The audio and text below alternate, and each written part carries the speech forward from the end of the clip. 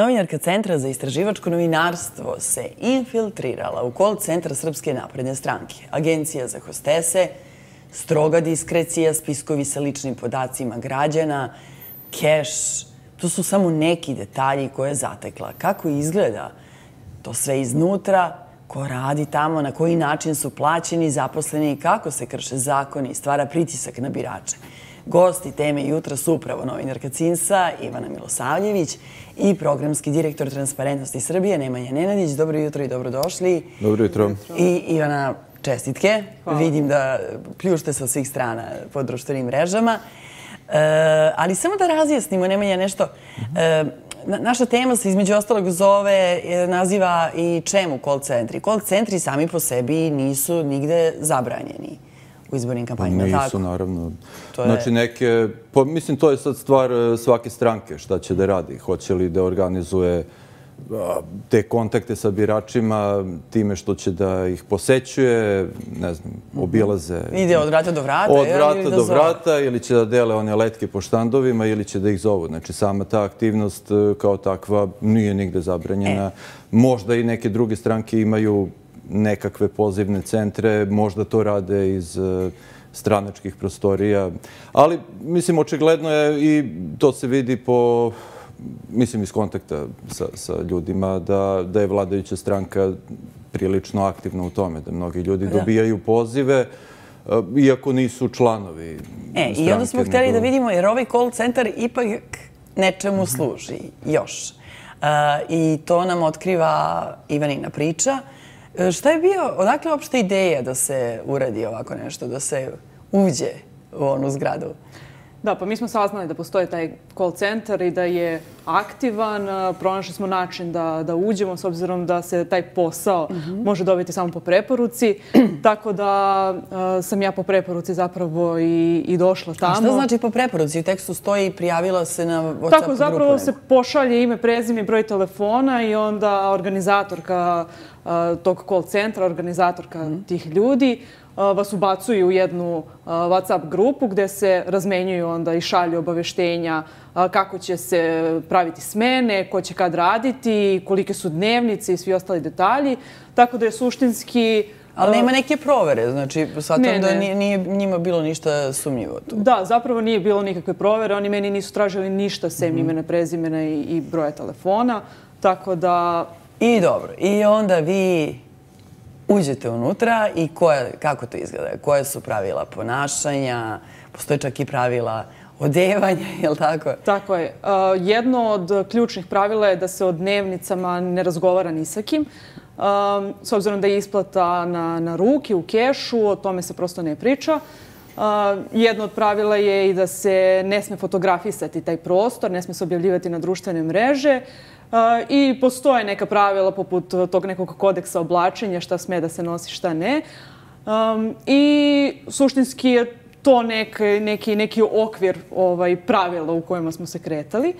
Um, I to je to. Suštinski su se ta neka obaveštenja ovaj, slala, slala tamo. Nije bilo komunikacije neke prevelike između članova, samo su ti administratori grupe slali prosto te neke poruke nama šta treba da radimo, kada i gdje da dođemo i to je otprilike to. Da, objašnjavate da se radi u dve smene od po četiri i po sata, i, e, a sve ide preko agencije za hostese. Kakve veze ima ova agencija?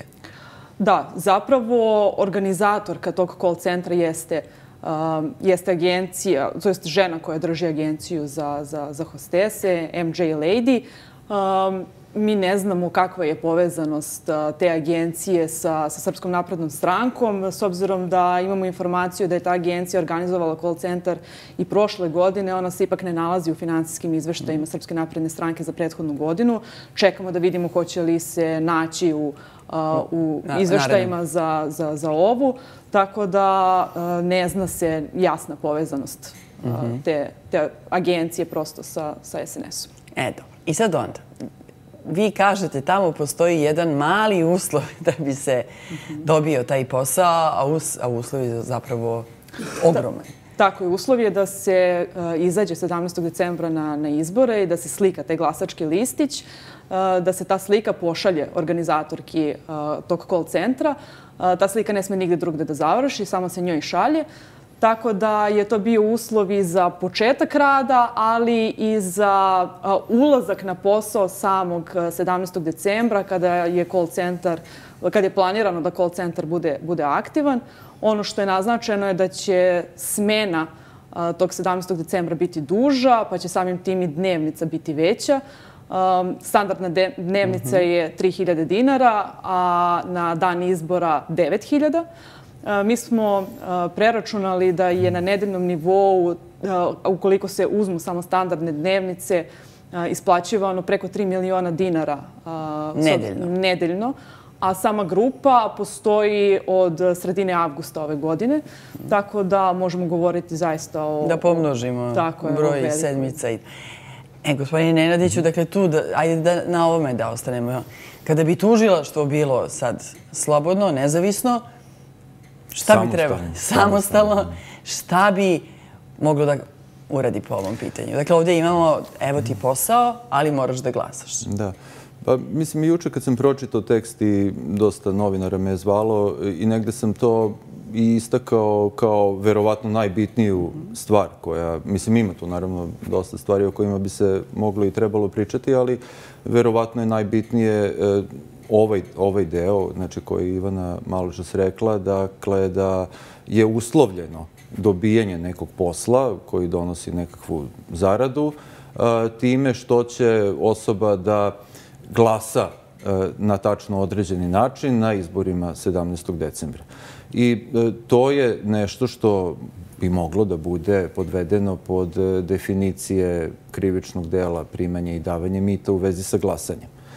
Dakle, to je, eto, nešto što na prvi pogled e, se može zaključiti iz ove stvari. Ali nije samo to, traži se slikanje, tako, fotografije. Ima još jedno krivično delo u tom e, delu mhm. krivičnog zakonika koji se odnosi na izbore, a koje se odnosi na e, narušavanje tajnosti glasanja. I sad čovjek bi pomislio, aha, narušavanje tajnosti glasanja, to je kad neko ne znam, hoće da zaviri tamo iza paravana pa da vidi kako je čovek glasao, ali ne mora da bude samo to, može da bude i bilo koja situacija gde neko čak svojevoljno e, i bez pritiska obelodani način glasanja nekom trećem licu celokupnoj javnosti. Pa mi smo imali, ne znam da se sećate toga, ovaj, pre nekoliko izbora. Sad, e, nije baš pre nek... Više ne govorimo pre nekog godina, nego pre nekoliko izbora. Smo imali situacije gde su čak i neki narodni poslanici e, mhm. fotografisali svoj glasački listić zaokružen i kačili to po Facebooku, Twitteru i tako dalje. I nije bilo apsolutno nikakve reakcije iz tužilaštva Eh, zbog očiglednog narušavanja eh, tajnosti glasanja. Tako da, to je eh, stvar koja je ozbiljna i za koju bi se očekivalo, evo kao što ste rekli u uvodu, samostalno tužilaštvo, imamo jel da, čak i izmenjene ustavne odredbe, veće garancije, da će oni sada da uzmu to u razmatranje i da, ne znam, možda pozovu Ivanu za neku izjavu dodatnu ako ima nešto što nije napisano u tekstu, da se obrate ljudima koji su tamo imenovani. Ja ne znam, ona osoba je imenovana u tekstu, ili tako, koji se šalju ovaj, te slike. Tako da da uzme izjave i da ispita ima li krivične odgovornosti za ovo konkretnu stvar. Međutim, vi ste objavili juče neki odgovor. Viš, ja bio krajnje zbunjujuć, moram da priznam. Da, ovaj. pa evo kako vi to razumijete. Prebačene je zapravo lopta u dvorište Republičke i Gradske izborne komisije. Pa da, mislim, zaista ovo nije stvar oko koje Gradska ili Republička izborna mhm. komisija imaju bilo šta da kažu. Oni znaju za neke nepravilnosti, oni će znati ako bude nekih nepravilnosti, recimo na dan izbora. Ako neko razlupa glasačku kutiju, ne znam, pravi nekakve nerede na glasanju, ometa izborni proces, ali ovo je stvar koja je pokrivena nekim drugim normama i Rik i Gik o tome apsolutno nemaju nikakvo saznanje. Tako da se tužila što odavde izvukla, ali imamo ovde još materijala. Dakle, i sad vi ulazite tamo, e, kažete postoje oni koji se bave pozivima i oni koji unose e, podatke u određene baze. E sad, tu nam objasnite šta se tu dešava. Kakvi su to spiskovi? E, šta je sa kapilarnim glasovima?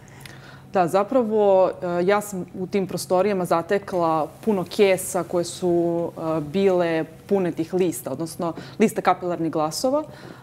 Posao onih ljudi koji rade unos jeste da ubacuju dodatne podatke u neku već postojeću bazu. Tu bazu koju oni dopunjuju sumnja se da je kopija biračkog spiska jer se u njoj nalazimo svi mi i od naših podataka, pored imena i prezimena, stoji adresa i biračko mesto.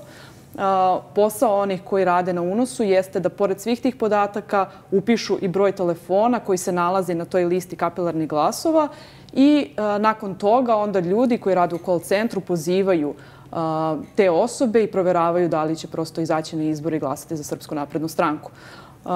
Ono što je još interesantno jeste da se u tim bazama nalaze i JMBG-ovi građana, a da ljudi koji rade na unosu nisu ni na koji način obučeni da rade sa prosto tim osjetljivim podacima. Obuka koju oni imaju na licu mesta se zapravo sastoji od toga kako da oni te podatke unesu u bazu, ali ne i šta da rade sa tim podacima, odnosno kako da ih prosto ne zlupotrebe. Kako da ih čuvaju? Šta ćemo sa tim? Dakle, sa poverljivim pa, podacima, smeli kopija biračkog spiska da se nalazi negde... Pa, ako je zaista reč o kopiji biračkog mhm. spiska, onda očigledno da je sad ko sve drži birački spisak, pretpostavljam opštinske izborne komisije. Nisam baš siguran kako je tačno uređen taj proces, ali svakako neki državni organi ili organi lokalne samouprave i da ako, su, ako je to dostavljeno političkoj stranci ili nekim trećim licima, nekoj firmi za angažovanje hostesa ili šta god, ovaj, znači da je prekršen zakon, da, da se tu nalaze podaci koji se ne smeju dostavljati nekome nepozvanom, jel da?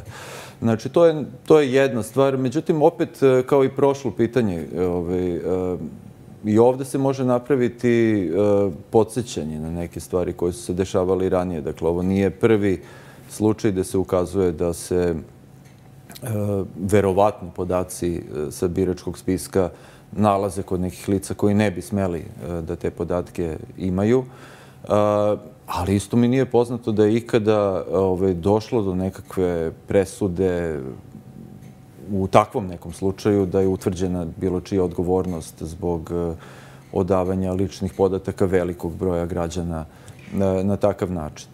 Pa da li, da li to nas dovodi toga da smo mi sve počeli da uzimamo, da se podrazumeva i da je nenormalno, normalno, jer dolazimo sada do finansijskog dela. Dakle, rekli smo dnevnica je 3000, 9000 za izborni dan. Ona se isplaćuje gde i kako? Ona se isplaćuje u, prostori, u prostorijama jedne nevladine organizacije koja se bavi zapravo e, edukacijom mladih, kako oni to navode, e, koja se naziva CEROB, nalazi se u samom centru Beograda. U njihovim prostorijama se vrše dakle, na nedeljnom nivou te, te isplate. E, ono što je zanimljivo jeste da ova organizacija na konkursima dobija, dobija velike pare od, od države. Tako da e, i za nju, isto kao ni za ovu agenciju za hostese, e, nema jasne povezanosti sa Srpskom naprednom strankom, ali i za to čekamo da vidimo hoće li se e, njihovo ime pojaviti u nekom, u nekom narodnom izveštaju. E, ono što e, još jeste poveznica ove organizacije i, i samog call centra jeste to da je e, predsjednik Ceroba zapravo jedan od supervizora u call centru, tako da je nekako ta povezanost još, još dodatno utvrđena.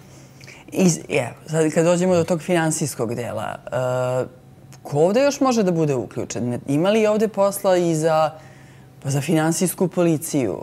E, ne, ne dobija se nikakav papir, nikakva potvrda, sve, sav novac ide na ruke. Tako. Pa rekla sam, da, u kešu. Dobro, mislim, sa stanovišta, ako je, pošto je ovo sve vezano, jel da, na neki Odakle način taj za... Novac? Da, da, za početak, pošto je vezano na neki način za kampanju, izbornu kampanju i za... Postoje propisi koji uređuju finansiranje izborne kampanje, finansiranje stranaka mm. uopšte i to Ivana više puta e, već pomenula izveštaje. Dakle, nije čak sporno da stranka angažuje neka treća lica, ne moraju sve poslove u kampanji da rade ljudi koji su članovi, simpatizeri i tako dalje. ili da angažuje neke firme. Pa da, tako smo i počeli. Neke firme, da. Da, ali što se tiče tog finansijskog aspekta i ono što, međutim, je obaveza, e, jeste da se ti troškovi prijave i e, da se vidi kome je jel, da, e, plaćano za određene usluge. E sad, kad je reč o plaćanju u gotovini, recimo, politička stranka po zakonu nema takvu mogućnost. Znači, tamo u zakonu stoji da oni moraju da plaćaju svoje troškove izborne kampanje e, preko računa. E, ali ako je opet angažovano neko treće lice, to možda će biti objašnjenje da je to treće lice plaćalo u gotovini i tako dalje. Znači, to je jedna stvar. Pitali ste za finansijsku policiju. Sad mhm. nisam... Ne, gledam, ko, ko bi sve ovdje mogao da, da ima posao? Generalno, zbog gotovini. Pa, mislim, sad, pred, sad ovo što je... Uh, nije bilo ugovora nikakvog, da, tako? Nikakvog, nije bilo da. nikakvog ugovora i onda se verovatno može postaviti pitanje to, da li je trebalo da se plate nekakve nadoknade za za šta? Za, za taj ugovor koji nije pa postao. Tako dalje. Znači, do, to su, to su neke, neke, neke dodatne dimenzije Jer vi kažete, a, ovo bi moralo da se nađe u izveštaju o troškovima. Da. Pa sad ćemo vidjeti da li će se naći. Jer ovo nije prvi put, nije prvi call center koji, koji radi i pro, pre, dve, znači pre tri godine. Mm -hmm je naš kolega Miloš Jošić pisao o call centru koji se nalazi u onom tržnom e, centru jednom. Pa, na primjer, da li je do sada U prethodnim izveštajima se ti call centri. E, da, to je, e, to je zanimljiva stvar. Ovaj, e, ne, nema ih. Mhm. Ili ih možda ima, ali pod nekom kategorijom koja nije vidljiva. Ne postoji neka rubrika sad gde bi trebalo upisivati e, troškove ove vrste. Mi smo recimo uočili prošli put kad su bili izbori da nije bilo nikakvih prijavljenih troškova za korišćenje telefona.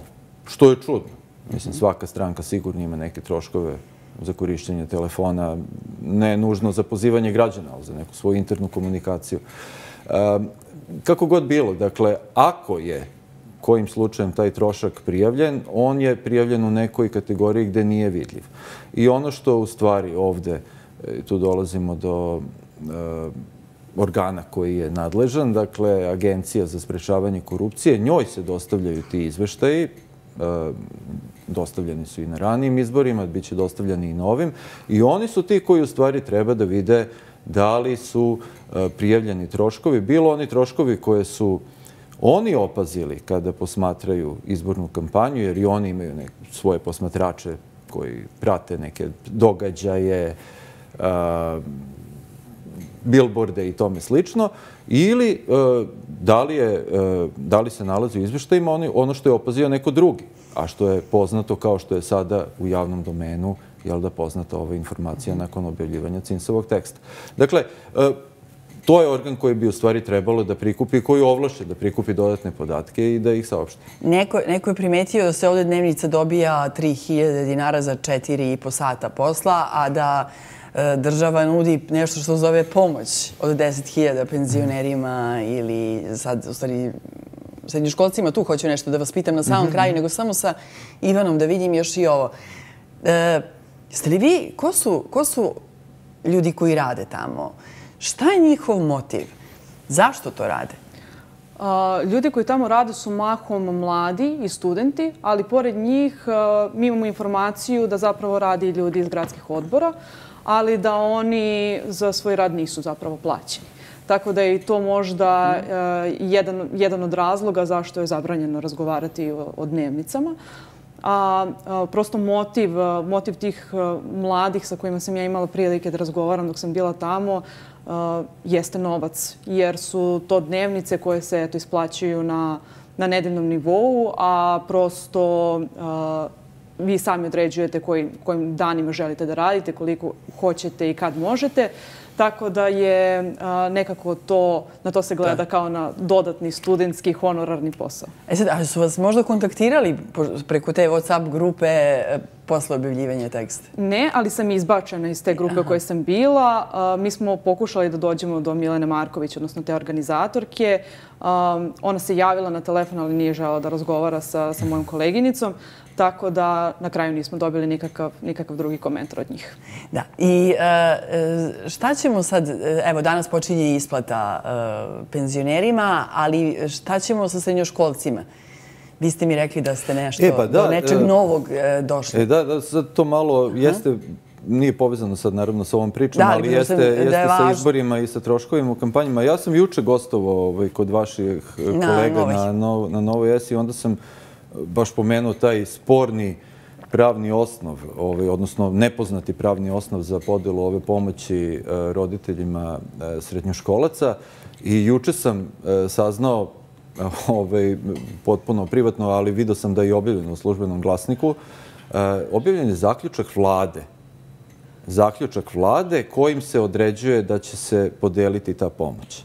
Eto osnova. I u tom zaključku se vlada poziva na član zakona koji uređuje pomoć socijalnu pomoć. E, I poziva se na odredbu koja kaže da opština, ako ima sredstava, može da utvrdi neke e, dodatne pogodnosti za građani i da podeli nekakvu socijalnu pomoć. A ovde dolazimo u situaciju gde, znači to je zamišljeno da sad, ne znam, ako neka opština ima višak para, pa hoće da stimuliše na neki način da ona to podeli. Ovde sada se vlada poziva na tu odredbu i šta radi? E, određuje novac stavlja ga na, na, na e, konto ministarstva, deli ga svim opštinama i onda opštine e, dele taj novac građanima. Znači, potpuno, potpuno jedna suluda konstrukcija, znači, zato što, naravno, da taj trošak nije bio predviđen u budžetu, mogo je da bude predviđen u budžetu, rađen je rebalans budžeta pre samo nekoliko meseci i potpuno je očigledno da ta mera nije bila Eh, planirana fiskalno i da je tempirana eh, za ciljano da se, da se učini pred izbore, a pri svemu tome odluka vlade se donosi 29. juče je doneta, a čuli smo eh, da će pomoć biti podeljena još kako beš, u nedelju, po nedelju. Da, i sve ovo nam zapravo otkriva, uključujući i vaš tekst, koliku startnu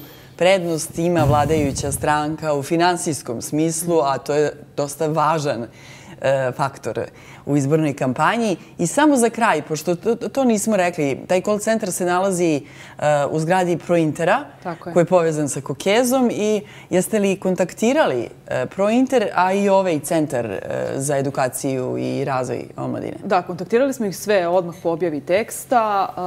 Iz Ceroba se niko nije javljao. Pro Inter niko nije želeo zapravo da, da, da to komentariše, tako da suštinski nemamo još zvanične reakcije od njih. Ako bude, tu smo. Hvala vam najlepše Hvala. što ste bili gosti naše teme. E, teme jutra. Vi ostanite uz novi dan, vraćamo se brzo.